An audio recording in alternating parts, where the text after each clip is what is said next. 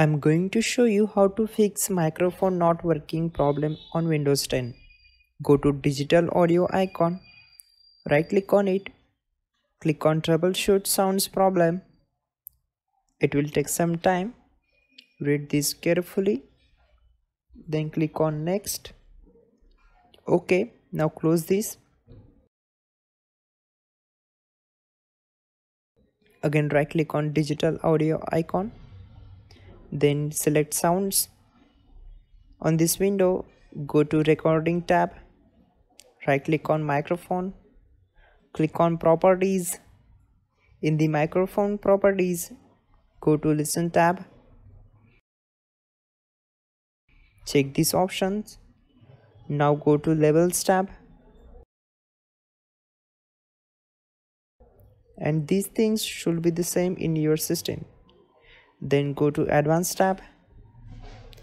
Click here and change it to CD quality.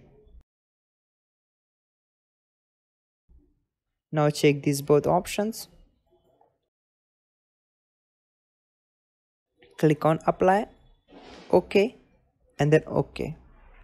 Close it. Again right click on digital audio icon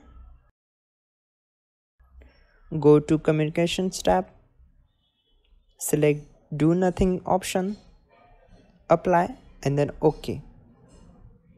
Now go to search bar type settings click here to open it. Then click on privacy then click on microphone.